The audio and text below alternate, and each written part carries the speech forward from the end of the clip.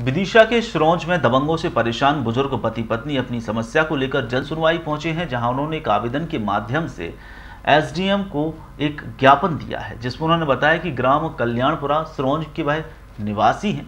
वहीं हमारी ज़मीन पर गाँव के ही दबंग लोगों ने कब्जा कर लिया है, जिसका मामला एसडीएम कार्यालय में लंबित भी है, लेकिन आदेश के बावजूद भी दबंग पीड़ित बुज़ुर्ग दंपति की ज़मीन का कब्जा छोड़ने को तैयार नहीं है।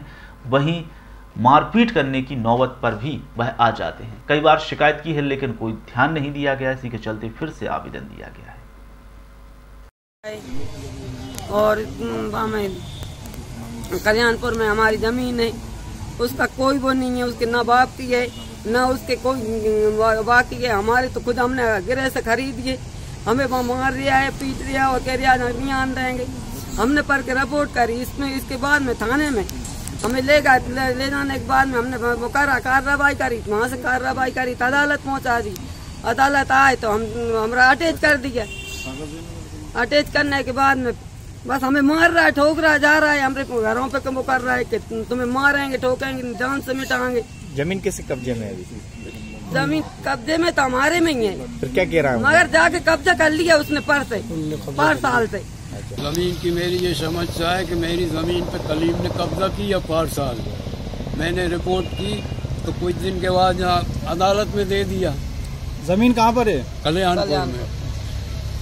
कितनी हाँ। ज़मीन है? मेरी सोलह बीघा है वैसे बीस बीघा है लेकिन वो मैंने खरीदी है नाम नहीं है दूसरों के नाम में।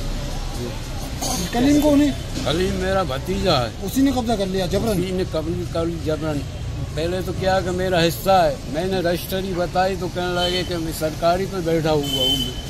जी हाँ। आपने इसकी कोई पुलिस रिपोर्ट करी थी? पुलिस में रिपोर्ट की थी तो यहाँ अदालत में उन्होंने ये कागज़ भेज दिए। साल भर के बाद अटैच हो गया। अटैच होने के बाद मैं अटैच वाले को मार रहा मुझे ही मार रहा। आपके साथ भी मारपीट करी? जी अरे मेरा पैर तोड़ दिया। जी हाँ।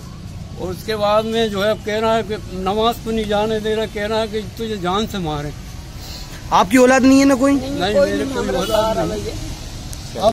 सर ये ये जो आवेदन आया है जन सुनवाई में ये जो आवेदन करके आया इनका ये कहना है कि वन विभाग ने हमारी ज़मीन ले ली उनकी ज़मीन हमें दे दी। ये क्या मामला है इसमें क्या? आज दिनांक में जन सुनवाई में भी उपस्थित था और इस प्रकार का आवेदन मिला है। श्री शरीफ खान साहब हैं इनके माध्यम से ये आवेदन हमें प्राप्त हुआ है और इसकी जाँच करके चूँकि बहुत पुराना प्रकरण बता रहे हैं तो जाँच करके क्या स्थिति है उसकी मौका स्थिति जान के ही मैं कुछ कह पाऊँगा।